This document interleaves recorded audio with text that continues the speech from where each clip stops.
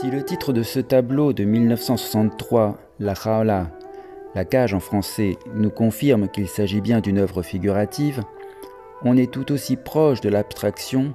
que l'on sera proche de l'hyperréalisme dix ans plus tard, en 1973, avec la série sur l'enlèvement des Sabines de Poussin et ses trompe-l'œil.